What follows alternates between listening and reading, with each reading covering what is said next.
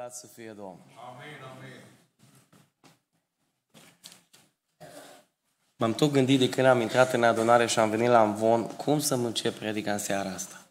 Și cred că cel mai simplu ar fi să vă spun în felul următor. Dumnezeu să vă binecuvinteze. Aleluia. Ați rămas la fel de frumoși, unii v-ați mai schimbat un pic, dar la fel de frumoși și mă bucur că Dumnezeu vă binecuvântați să ajungeți până în ziua de azi. Dumnezeu să vă binecuvinteze. Amen, amen. Am citit textul acesta pe care fratele Cristi l-a citit, m-am gândit la el, l-am studiat și când am lucrat la textul acesta mi-am adus aminte de o perioadă din viața mea, luna decembrie. Știți că acum toți cam în luna decembrie am fost foarte ocupați, dar mi-aduc aminte că eram împreună cu fratele Robi Lazar și ne trebuia scoci. Bine, ne trebuia așa o cantitate mai mare de scoci. Și am zis, mă, lasă că fac eu comandă. Acum a intrat pe telefon, a intrat pe nu știu ce care site și îți comanzi acasă tot ce ai nevoie. Și după ce am făcut comanda asta un pic mai mare la scoci, ca să aveam nevoie de scociul acesta, site-ul respectiv îmi trimite un mesaj care suna chiar cam așa. Vreți să asigurați coletul? Și am zis, Doamne, pe niște scoci, mai dau eu niște bani în plus, să asigur niște scoci. Dacă ar fi fost un lucru de valoare, înțeleg. Dacă ar fi fost un lucru care să coste, să fie scump, să coste mult, înțeleg. Dar pentru niște scoci, mă trimite site-ul mie înapoi o, un mesaj și mă întreabă dacă vreau să-mi asigur coletul. Știți ce mi-am dat seama, frați și surori, în momentul acela? Cât de nesigură e lumea în care trăim. Câtă nesiguranță este în lumea în care trăim. Și am început să mă gândesc la mașini. Nu, nu e sigură deloc, așa Astăzi merge, mâine nu mai merge. M-am gândit la siguranța unui loc de muncă. Și uitați-vă că astăzi avem de muncă și mâine nu mai avem. Mâine te obligă nu știu ce să faci, nu știu cum să te comporți, nu știu ce să-ți aduci, nu faci și nu respecti, nu mai te dă afară. M-am gândit la siguranța asta pe care ți-o oferă lucrurile materiale. Uitați-vă la bani, oameni buni. Am cunoscut oameni care anul trecut au avut sute de mii de euro și anul ăsta nu mai au nimic. Și am zis, cum? În câteva luni de zile. Banul nu mai e sigur. Casele și, nu, casele și tot ce moștenim noi, parcă nu mai e sigur nimic. Mașini, nimic. Uitați, uitați-vă la sănătate. Ca suntem și mâine nu mai suntem. Am stat de vorbă cu oameni acolo o lună de zile. Și a, acolo lună de zile am stat de vorbă cu ei. Și mâine mă duc la priveg. Mâine mă duc la priveg. Miercuri în mormântare. Oameni cu care am vorbit, oameni pentru care ne-am rugat, oameni cu care am avut nădejdea că se vor ridica de acolo de pe pat. Nimic nu mai e sigur, oameni buni. În seara asta vreau să vă prezint ceva ce rămâne sigur din, vecii, din veșnicie în veșnicie. Într-o lume în care nu mai e nimic singură, vă aduc speranța care nu se schimbă niciodată și asta e Evanghelia lui Dumnezeu, slăvit să fie Domnul. Despre ea vreau să vă vorbesc. O speranță puternică într-o lume plină de, de slăbiciuni, într-o lume plină de deznădejde, într-o lume care se prăbușește. Un lucru rămâne singur și neschimbat, Evanghelia lui Dumnezeu, slăvit să fie Domnul. Am curajul să vă predic din ea, am curajul să vă învăț în seara asta și să vă spun să o urmați, că urmând Evanghelia asta o să ajungeți bine 100%, pentru că asta e siguranță 100%, slăvit să fie Domnul. N-am curajul să vă spun să vă cumpărați o mașină în seara asta, că o să, nu o să se strice. N-am curajul să fac asta.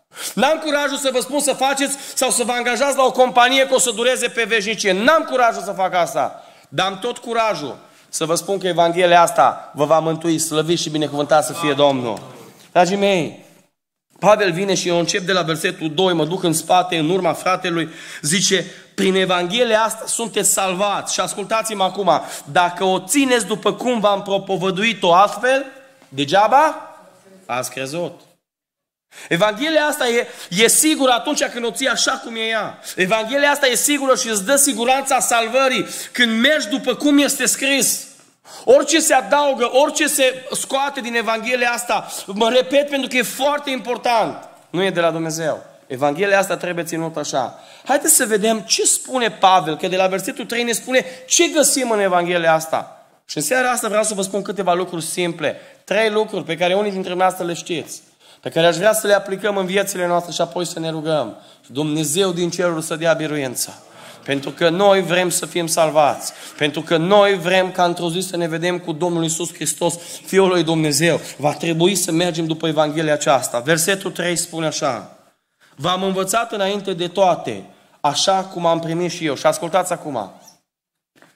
Că Hristos a murit pentru păcatele noastre după Scripturii. Slăviți să fie numele Lui. Oameni buni, voi vă dați seama ce adevăr se găsește în versetul ăsta? Noi ne-am obișnuit cu iertarea Domnului Isus Hristos. Ascultați-mă! Noi vorbim ușor de sângele Domnului Isus Hristos, de iertarea pe care o dă, dar ascultați-mă bine, în versetul acesta se ascunde putere, slăvit să fie Domnul. Și primul lucru despre care vă vorbesc, Hristos a murit pentru păcatele noastre. Speranța iertării. Speranța iertării. Uitați-vă că câteodată nu vă înțelegeți cu câte un vecin, da? Să nu zic cu câte un frate. Să nu zic. Nu vă înțelegeți câte un vecin și nu mai vrea să te ierte, mă. Când treci pe lângă el, îți întinde mâna pe tine, nu te salut, cu tine nu mai am nicio treabă, cu tine nu mai vreau să stau de vorbă. Oameni buni, în seara asta vestea cea bună a mântuirii este că Iisus Hristos iartă păcatele. Sângele Lui și astăzi curățește și spală. Sângele Lui și astăzi eliberează. Asta e un lucru extraordinar. Dar poate cineva se întreabă în seara asta, ce-i păcatul? Nu vedeți că păcatul pentru unii e păcat, pentru alții nu e păcat, să spune aici. Și așa îi. Unii cred că e păcat, unii zic că nu e păcat. Punem te rog frumos Efeseni, capitolul 2, de la versetul 1. Hai să vedem ce zice Biblia. Uitați-vă ce spune cuvântul lui Dumnezeu. Voi erați morți în greșelile și acum în păcatele voastre. Următorul verset. În care trăiați odinioară după mersul lumii acestea, după Domnul puterii văzduhului, a Duhului care lucrează acum în firii neascultării. Și versetul 3 ne dă soluția. Uitați ce zice. Între ei eram și noi odinioară. Când trăiam după poftele firii pământești. Când făceam voia eului nostru, când făceam lucrurile care ne plac, lucrurile care parcă aduc satisfacție, când, când lucram după lucrurile acestea firii pământești, oameni buni. Și Pavel merge mai departe și în Galaten vine și ne spune despre faptele firii pământești și începe și spune acolo prea curvia, curvia, de, necurăția, desfrânerea. Vreau să vă întreb și să ne răspundem sinceri. Uitați-vă în jurul nostru, uitați-vă la oamenii care ne înconjoară. Nu, nu vi se pare că parcă astea sunt cele mai mari păcate a secolului nostru? A timpului în care trăim? Vă spun ca un om care consiliez oameni. Cele mai mari probleme aici sunt. Oamenii vin cocoșați de păcatele ăștia. Oamenii vin și de-abia se mai tărăsc, se distramă familii din pricina desfrânării, din pricina necurăției, din pricina, spune acolo, închinarea la, închinarea la idoli. Știți, m-a zis cineva, apropo, mi-aduc aminte acum, cu ceva timp în urmă, a zis, frate, n-are cum să ne mai închinăm la idol, că în ziua, astăzi, în ziua de astăzi nu mai sunt idoli. Hai să vă spun ce înseamnă idol din punct de vedere al lui Dumnezeu al Bibliei. Tot ce pui mai presus de Dumnezeu este idol. Ascultă-mă bine. Tot ce pui mai presus de Dumnezeu este idol. Dragii mei, când am stat într-o zi și m-am analizat în rugăciune așa sincer să văd inima mea ce dorințe are, ce se ascunde acolo în străfundul inimii, pentru că fiecare când se pune și se analizează în fața oglinzii lui Dumnezeu, se găsește cum se găsește. Știți, m-am gândit de multe ori, că noi numim, ascultați-mă bine, noi numim idol de multe ori mașina, nu știu ce haină, nu știu ce casă, nu știu ce mai avem noi, un telefon și așa mai departe. Ascultați-mă ce vă spun lucrurile stau mult mai adânc decât atât. Orice pui mai presus decât Dumnezeu este idol pentru tine și Dumnezeu așa îl vede. Oameni buni, ne cheamă Dumnezeu în seara asta să înțelegem că păcatul înseamnă faptele firii pământești, înseamnă lucrurile acelea care, care sunt mai, mai multe, să mă exprim corect, sunt lucrurile acelea care nu bat și se războiesc cu Duhul lui Dumnezeu. Acum, întrebarea se pune, bun, dar de ce am ajuns? Că, foarte scurt vreau să vă explic asta, pentru cei care nu știți. Cum a ajuns păcatul în lume? Nu? Că mulți se întreabă, mă, cum a ajuns păcatul în lume? Știți ce zic majoritatea oamenilor? Eu slujesc într-un oraș în care sunt foarte puțini pocăieți. În orașul în care eu slujesc sunt 100 de penticostale, atât. Și vreo 60 de baptiști, din care numai vreo 20 merg la biserică, că 40 sunt cu altă treabă. Atât, atât. Și mai e o bisericuță mică de carismatici care săraci ne tă rugăm pentru ei. Atât. Și un oraș de 120.000 de locuitori. Și în fiecare zi am acces la oameni nepocăiți, la oameni care întreabă, dar eu n-am făcut nimic. Dar domnul Bogdan, eu sunt un om moral, eu sunt un om care am venit la biserică, mă duc la biserică. Cine îmi spune mie care are păcat? Cum am păcat, scumpii mei? Aduceți-vă aminte că în grădina Edenului intra păcatul în lumea aceasta. Eu m-am gândit de multe ori, apropo, v-ați gândit? De ce Dumnezeu a pus pomul ăla în mijlocul grădinii? O cât mi-aș fi dorit să nu-l fi pus acolo. O cât mi-aș fi dorit să-l fi luat Dumnezeu de acolo și să-l ascundă undeva. Niciodată, ascultați-mă, Adam și cu Eva să nu mănânce din, din pomul cunoașterii binelui și a răului. Niciodată să nu se fie apropiat de el. Dumnezeu spune în Cartea Sfântă că ne-a creat oameni liberi și noi știm că suntem oameni cu liberul arbitru. Prin faptul că au lăsat pomul acela în mijlocul grădinii, nu a făcut nimic Dumnezeu altceva decât să ne spună că sunt liberi să alegem. Știți ce au ales oamenii? O ales ca după aia dreptatea lui Dumnezeu să arunce cu blestem peste pământ și să spună ca noi bărbații să muncim cu greu și pământul acesta să fie blestemat. Că tot să întreabă unul și altul, mă, de ce sunt atâtea războaie? De la blestemul care s-a adus asupra pământului. De ce sunt atâtea boli? De ce se întâmplă atâtea lucruri? De ce nu-i bine pe pământ? De ce sunt locuri în care se întâmplă atâtea grozăvii? Pentru că, ascultați-mă bine, pământul acesta într-o zi din cauza păcatului, în dreptatea lui Dumnezeu, Dumnezeu l-a blestemat. Eu mă duc cu soția, împreună cu soția, noi mergem mâine la Cluj să nască. Eu am stat și m-am gândit și durerile nașterii și toate durerile acestea ale femeii. Dar nu putea femeia să nască fără dureri. Ba da, ba da, putea. Dar din pricina păcatului, Biblia, în, în Geneza 3 cu 16, acolo unde Dumnezeu aruncă asupra femeii blestemul acesta, în dreptatea lui, zice, cu durere vei naște fi. Cu durere. Și asta știți cine a făcut-o? Păcatul. Și mii de ani mai târziu vine David și spune în păcat, m-a zămislit mama mea. În seara asta, atât despre păcat, am vrut să știți numai și să vedeți de ce este atâtea grozăvini în lumea asta și de ce se întâmplă asta. Dragii mei, întrebarea care se pune și care vreau să ne o punem fiecare, de ce avem nevoie de iertare? De Biblia ne spune că Hristos a murit pentru păcatele noastre, speranța iertării. De ce aș avea nevoie de iertare? Și în seara asta vreau să spun câteva motive. De ce ai avea nevoie de iertare? De ce am nevoie? Mai am nevoie de iertare, mai am nevoie de sângele Domnului. Sunt credincios, sunt biserică de atâția ani, mai am nevoie ca sângele Domnului să mă ierte, mai am nevoie. De ce mai avem nevoie de iertare?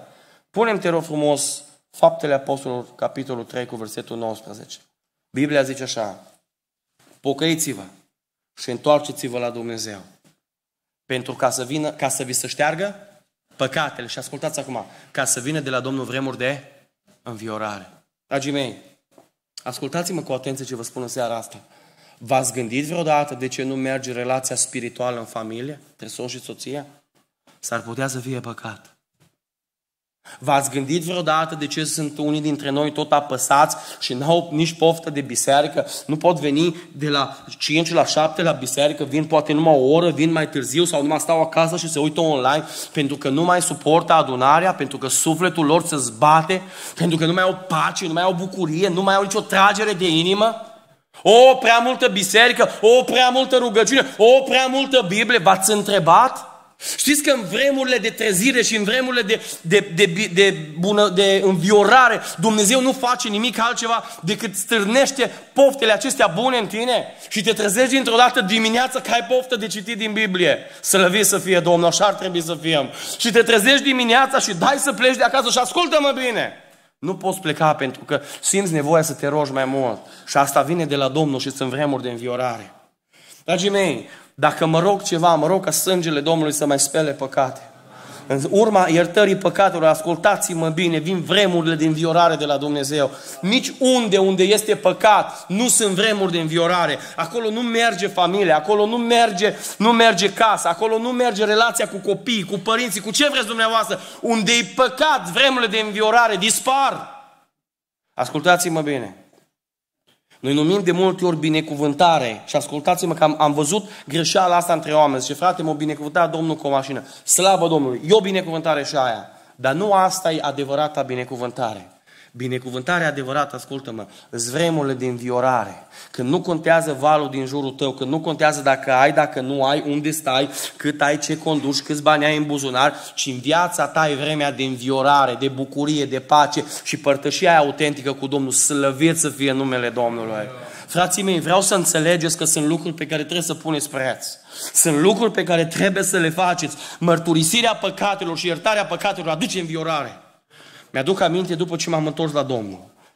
După ce m-am întors la Domnul, n-am greșit eu nu știu ce păcate să fac, da? Ții minte că atunci am primele luni până Dumnezeu m-a binecuvântat cu Duhul Sfânt și m-a botezat cu Duhul Sfânt. Era așa pocăința. N-am căzut în păcate grele, să nu înțelegeți greșit. Dar m-am jucat. Problema a fost că la un moment dat am, am, am necăjit pe cineva și m-a apăsat păcatul ăla, ani de zile, ascultați-mă, ani de zile m-a apăsat, dar nu l-am mărturisit. Bă, cum să merg eu? Ajunsesem deja să predic Evanghelia. Ajunsesem deja să, să slujesc la tinere și am zis, bă, da, eu care trebuie să fiu un exemplu, cum să mă duc eu și să mărturisesc că uite ce am făcut. Chiar dacă am făcut atunci, vă spun, mi-a fost rușine. Și am trăit cu rușinea asta ani de zile. O apăsat păcatul ăsta pe mintea mea, pe cugetul meu, ani de zile. Vă spun, mă puneam seara în pat și mă mustra conștiința și Dumnezeu în bunătatea Lui, în loc să îmi facă conștiința să se obișnuiască, ani de zile m-a mustrat cu asta, ani de zile m-a mustrat. Am ajuns o perioadă, scumpii mei, ascultați-mă bine. Parcă nu mai puteam înainta, nu mai aveam suflul la predică. Simțeam că obosesc, toată lumea era plin de viață. Nu aveam chef de nimic. Când îmi suna telefonul că trebuie, veneam la biserică că trebuie să vin. Nu aveam nicio bucurie. Frații cântau, frații plângeau. Era cercetare și Duhul Sfânt umbla printre rânduri. Și ascultați-mă, eu nu-l simțeam. Eu nu-l simțeam. Și stăteam în bancă. Stăteam în bancă. Și ascultam aceeași predică ca frații mei. Ascultam același mesaj ca surorile și frații mei și eu nu simțeam prezența Duhului Sfânt. Și Domnul spunea, păcatul ăla trebuie să te, să-l mărturisești. M-am zis, lasă, Doamne, că mărturisesc înaintea Ta. De 100 de ori la mărturisesc înaintea Domnului. Nu s-a întâmplat nimic. Într-o zi mă sună cineva din Austria. O zis, frate Bogdan, am avut o vedenie pentru tine, zice. Zice, te-am văzut cu un ghiozdan în spate, umblai cu un ghiozdan așa, zice, dar era ghiozdanul așa, nu-l țineai chiar în spate de tot, numai așa, zice, umblai cu el pe jos, zice. Și zice, atât erai de obosit. Zice, te-am văzut acolo la tine la adunare, zice, intrai pe poarta adunării, zice, nu mai aveai vlagă de viață. Frate Bogdan, zice, mai lasă-le jos, zice, mai lasă să mai facă și alții. Nu te, zice, agita atâta, zice, eu știu că e bine să alegi pentru Domnul. Dar zice, am văzut în vedenie cum nu mai aveai viață în tine. Și atunci am zis, Doamne, ăsta e omul cu care trebuie să stau să vorbesc. Și am zis, frate, dacă tu m-ai sunat, cu tine trebuie să vorbesc. Ascultă-mă. Nu că fac prea mult pentru Domnul. Că Domnul dă resurse pentru trupul ăsta. Ascultați-mă, dă resurse. Am zis, uite ce am făcut și am început asta, asta și asta, care nu era mare lucru. Dragii mei, în timp ce vorbeam la telefon, o zis, frate, văd cu ochii deschiși cum ghiozdanul ăla s-a rupt și a căzut. Am sărit dintr-o dată, eram aici la mama și copil. Am sărit dintr-o dată în sus și am zis, slăvi să fie Domnul. Oameni buni, de pe o secundă pe alta mi-a venit vlaga. M-am dus seara în adunare, am strigat, am urlat, am lăudat pe Domnul. Mi-aduc aminte atunci când m-am dus, a fost pentru prima oară, că eram mai la început, am mers cu mașina. Cred că m-am rugat o oră și ceva pe mașină la volan și am zis, Doamne, te slăvesc și te binecuvânt. Oameni buni, iertarea păcatelor aduce înviorare. În seara asta ai nevoie de sângele Domnului ca să fii viu. Să simți Duhul lui Dumnezeu care se manifestă în adunare. Ori cânta tinere și ori cânta frații, cântări înălțătoare. L-am simțit pe Domnul aici. Vreau să vă spun ceva, unii dintre voi nici măcar n-a simțit nimic. De ce? Pentru că ai nevoie de înviorarea lui Dumnezeu. Uită-te la păcatele nemărturisite. Sângele lui Dumnezeu astăzi îți spune că te poate ierta, slăvit să fie Domnul. Îți mai spun ceva. Punem Roman 3 cu versetul 23. De ce să ne, să ne ierte Domnul păcatele? De ce avem nevoie de iertare? Căci toți au păcătuit și sunt lipsiți de slava lui Dumnezeu. Și dacă nu mai păcătuim, ce se întâmplă? Slava lui Dumnezeu vine. Slăvit să fie Domnul. Știți ce îmi doresc pentru toți slujitorii care vă slujesc? Pentru mine și pentru toți slujitorii lui Dumnezeu. Să fie însoțiți de slava lui Dumnezeu. Știți ce îmi doresc pentru voi? Când talpa piciorului vostru calcă în familii de necredincioși, la vecinii dumneavoastră, când mergeți să ajutați pe unul, pe altul, la șeful în birou, slava lui Dumnezeu să se facă simțită, să se uite oamenii la dumneavoastră și să spună ce cu voi, omule, tânărule, frate, soră, bărbatule, femeie, ce cu tine? Și tu să-i spui așa, Dumnezeu meu, Dumnezeu meu. Oameni buni, avem nevoie de însoțirea slavei lui Dumnezeu. Ascultați-mă bine ce vă spun. Oricât de bun aș fi orator, oricât de ora, bun orator ar fi un predicator, dacă slava lui Dumnezeu nu-l însoțește, nu se întâmplă nimic, totul e de moment, totul e de, de, de moment atunci, de senzație, de emoție, de absolut nimic nu se întâmplă. Oameni buni, când oamenii se pocăiesc, când la niște cuvinte simple, când la niște îndemnuri simple, oamenii se pocăiesc, acolo e slava lui Dumnezeu, glorificat să fie Domnul. Duh Sfânt al lui Dumnezeu Dumnezeu face cercetarea. Îmi doresc din toată inima mea slava lui Dumnezeu să vă însoțească. Știți când vă va însoți slava lui Dumnezeu? Când păcatele vor fi mărturisite. Acum eu vă spun, este cu neputință să nu greșiți. Este cu neputință. Zice Biblia. Dacă crede cineva că de când s-a mărturisit ultima oră tot în, în sfințenie o trăit și a fost cel mai neprihănit, să înșeală. Neprihănit, da, prin Hristos, dar nu mai greșit. Știți ce e frumos? Că sângele Domnului Iisus Hristos spală. Sângele Domnului Iisus Hristos spală. Și ascultă-mă bine. Ascultă-mă bine. Hai să vă spun ce s-a întâmplat. Vă spun ce a pățit uh, Sara, fetița noastră de șapte ani de zile. Noi stăm foarte mult de vorbă cu ea, eu iau foarte multe, deși are șapte ani de zile, fata mea știe foarte multe, aude foarte multe în casă, ca așa e situația. Și seară la ora 11 jumate m-a sunat plângând, ea este la Orșova pentru că trebuie să, să meargă la școală mâine dimineață și m-a sunat plângând și a zis, Bogdan, frate, frate Bogdan, static, plângeam, am zis, ce cu tine? O zis, nu mai pot. Și am zis, mă, ce plângi așa, ce cu tine? Știți ce mi-a zis fetița de șapte ani? A zis, tati, vreau să vin înapoi la Deva, la verișorii mei că nu m-am purtat frumos cu ei și acum îmi pare rău. Și am zis, wow, wow, la șapte ani să spui că îți pare rău? Oameni buni, dacă un copil la șapte ani vine și îți plânge și îmi plânge mie și îmi zbeară în telefon că vrea să se întoarcă, să se împace cu verișorii ei pentru că s-au certat de la nu știu, de la ce s-a întâmplat acolo, că nici nu știu ce s-a întâmplat, vreau să vă întreb cum se uită Dumnezeu la noi care suntem maturi spiritual. Ascultați-mă bine, mărturisirea păcatelor și iertarea păcatelor atrage slava lui Dumnezeu peste tine și peste mine. De ce avem nevoie de iertarea lui Dumnezeu? Cel mai important lucru, Roman 6 cu 23. Ascultați-mă bine. Pedeapsa păcatului este moartea. Știi că pentru păcatele tale și păcatele mele eu n-am cum să plătesc? Oricât aș încerca, orice aș dărui, orice aș încerca să fac, dreptatea lui Dumnezeu spune așa, fiindcă plata păcatului este moartea. Dacă s-ar fi terminat versetul aici, nu mi-ar fi plăcut. Ascultați-mă. Știți ce mă bucur în versetul ăsta? Dar darul fără plata lui Dumnezeu este viața veșnică în Iisus Hristos Domnul. Slăvit să fie Domnul. Slăvit să fie Domnul. Frații și surorile mele, voi vă dați seama că noi putem merge înainte datorită jertfei Domnului Isus Hristos? Pentru că sângele Lui și astăzi iartă păcate? Pentru că sângele Lui și astăzi ridică slăvit și binecuvântat să fie numele Domnului. În seara asta nu uitați, plata păcatului este moartea. N-ai să poți niciodată să-ți plătești păcatele. Oricât de bun ai fi, oricât de remedia, oricât de rău ți-ar părea, orice ai încerca să faci, ascultă-mă bine, păcatul tău trebuie plătit cu moarte. Știți care e vestea bună? Roman 5 cu 8. Dragostea lui Dumnezeu față de noi a fost că l-a dat pe Iisus Hristos ca noi să avem păcatele iertate. Slăvit să fie Domnul. Glorificat să fie Domnul. Mărească-se numele Domnului. 2. Versetul 4 din capitolul 15, 1 Corinteni. Că am fost îngropat și a treia zi a înviat după Scripturi. Speranța iertării. Și ascultați-mă acum. Hristos a murit pentru păcatele noastre, speranța iertării. Doi, Hristos a înviat, speranța biruinței. Oameni buni, în învierea Domnului Isus Hristos stă toată biruința noastră. Dacă cineva în seara asta crede că e bun și trăiește cu Dumnezeu că El e bun, se înșeală amarnic. Tot ce înseamnă creștinism, tot ce înseamnă relații cu Dumnezeu, nu e vorba de nimic altceva decât de un Dumnezeu bun care ne face să fim și noi buni. Lăudați să fie Domnul. Biblia spune despre noi ca oameni, voi care sunteți răi. Știți ce spunea Pavel la un moment dat? Zice, nu mă laud cu nimic altceva. Știți cu ce mă laud? Cu slăbiciuni. Cine a fost? Eu sunt de felul meu rău, eu de felul meu sunt nervos, eu de felul meu sunt agitat, eu de felul meu sunt stresat, ăsta sunt eu de felul meu. Știți de ce pot să fiu calm? Știți de ce am cuvinte blânde? Că Duhul lui Dumnezeu lucrează în noi. Să lăuda să fie Domnul. Ne lăudăm cu slăbiciunile noastre. Cel bun locuiește în noi. Voi care sunteți răi, spune Biblia.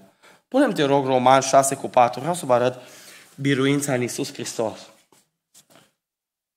Noi, deci, prin botezul în moartea Lui, am fost încropați împreună cu El, pentru ca, după cum Hristos a înviat din morți prin slava Tatălui, și fiți atenți acum, tot așa și noi să trăim o viață nouă. Binecuvântat să fie Domnul! Oameni buni, în învierea Domnului Isus Hristos avem binecuvântarea asta de a trăi o viață nouă. În învierea Domnului Isus Hristos ni se schimbă mintea, mentalitatea. Trăim conform împărăției lui Dumnezeu. Știți că împărăția întunericului cu împărăția lui Dumnezeu nu se potrivesc? Știți că cine câștigă în împărăția lui Dumnezeu pierde în împărăția întunericului?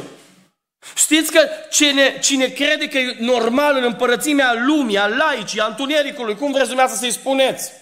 De fapt, e un pierzător în împărăția luminii? Gândiți-vă la un moment dat la tânărul bogat. A venit tânărul ăsta bogat în fața Domnului Isus Hristos. Și începe Domnul Isus Hristos să stea de vorbă cu el.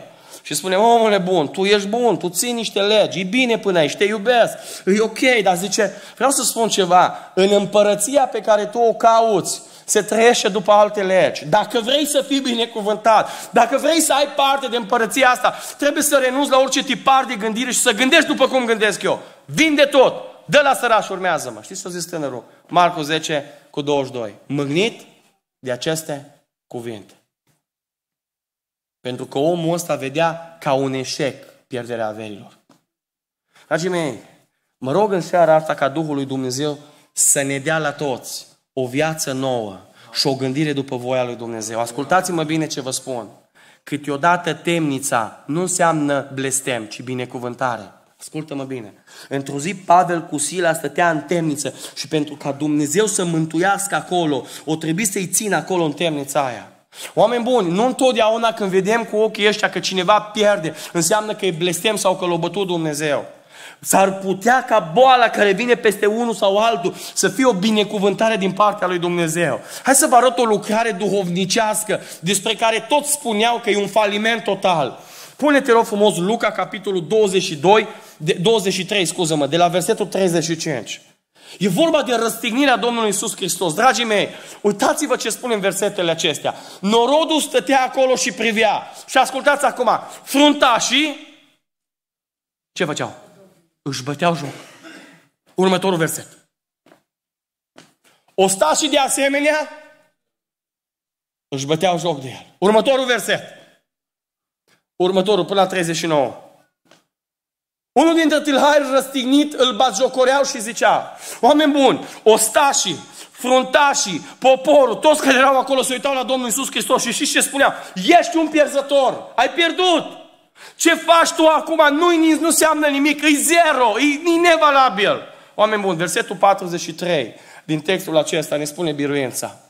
Nu înțelegea nimeni ce se întâmplă acolo la cruce. Diavolul se uita bucuros că Fiul lui Dumnezeu este răstignit. Poate se gândea că Dumnezeu va trăzni lumea din pricina faptului că a fost omorât Fiul lui. Sau poate se gândea altceva, nici nu știu ce se gândea. Oamenii se bucurau acolo, își băteau joc de el și spuneau, arătau cu mâna către cruce. Uite pierzătorul! Vreau să vă spun ce făcea Domnul Iisus pe cruce. Biruia, slăvit să fie numele Lui biruia, slăvit să fie numele Lui. Oameni buni, nu întotdeauna ce vedem noi cu ochii ăștia să potrivește cu lucrarea Lui Dumnezeu. De-aia avem nevoie de o viață nouă. De-aia trebuie să înțelegem cum ne cheamă Dumnezeu să mergem. Nu înțelegem, dacă gândim lumea și dacă gândim laic, nu vom înțelege calea Lui Dumnezeu. Va fi ciudată. Va fi întortocheată. Dumnezeu astăzi te cheamă ca prin învinierea Lui să ai biruință la o viață nouă, slăvit să fie Domnul. Ioan 11 cu 25. Știți ce mai e? Viață nouă, biruință în viață nouă, învierea Lui. Doi. Avem parte de viață. Dragii mei, în cadrul acela în care Domnul Iisus merge să-L vindece, să-L ridice din morți pe Lazar, după ce toată lumea plângea în jur, auziți ce spune Domnul Iisus? Un lucru care pe mine mă face să mă simt extraordinar. Eu sunt învierea și viața. Slăvit să fie Domnul. Când eu știu că am un astfel de Dumnezeu, eu vă întreb de ce să mă tem? De virus? De cancer? De probleme? Oameni buni, când eu știu ce Dumnezeu am, Oameni buni, și dacă murim, ascultați-mă, noi suntem și vom rămâne în viață pentru că Isus Hristos ne dă biruință din pricina învierii Lui. Mi-aduc aminte că eram la începutul credinței. Și a murit bunicul meu. Eu vă spun, a fost cea mai grea pierdere din punctul meu de vedere, pentru că nu eram nici matur spiritual, n-am pierdut până atunci pe nimeni. Familia noastră a fost foarte unită. Mama mea întotdeauna făcea părtășii și după, și înainte să pocăiască, și după ce să pocăia. Ne strângea acolo. Tot timpul noi eram împreună. N-am fost mulți. Dar tot timpul eram împreună și când a murit bunicul meu, am simțit atunci că se prăbușește lumea.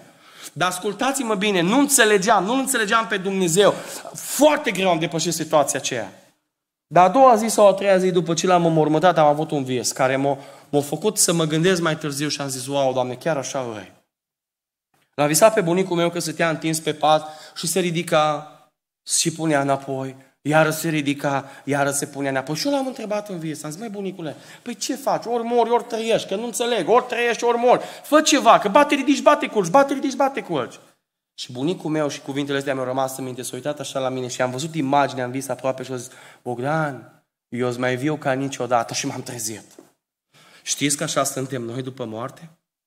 Lucrul acesta mă face să mă simt extraordinar de bucuros. Oameni buni, Iisus Hristos, Dumnezeul nostru, învierea și viața, slăvit să fie numele Domnului. În Romani 14 cu 9 spune așa, Hristos a înviat ca să aibă stăpânire și peste cei morți și peste cei vii. Oameni buni, Dumnezeu meu e Dumnezeu biruinței. De ce să mă tem? Ă, are stăpânire peste morți, are stăpânire peste vii. Citea fratele la un moment dat din Efeseni, capitolul 1, până la versetul 18. Hai să vă citesc. Știți ce spune în continuare? Extraordinar.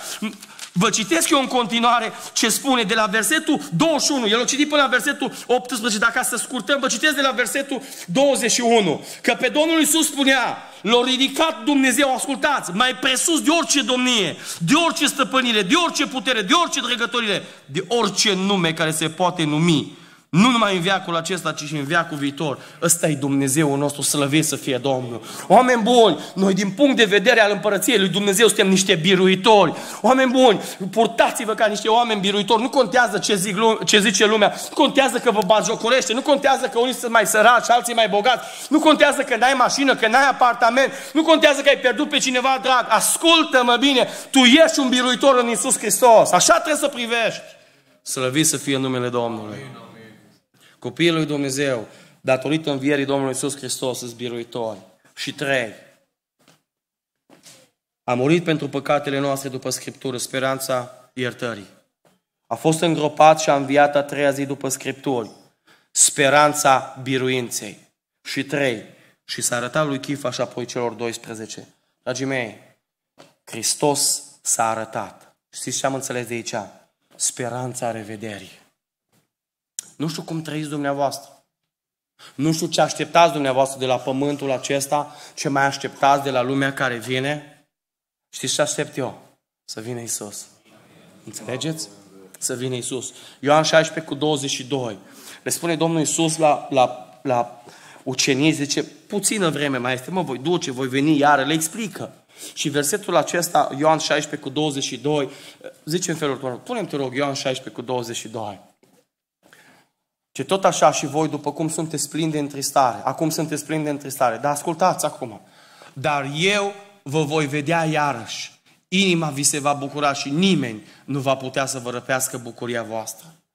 Dragii mei, bucuria aceasta că Hristos se va întoarce după noi, nu trebuie să lipsească din inimile noastre.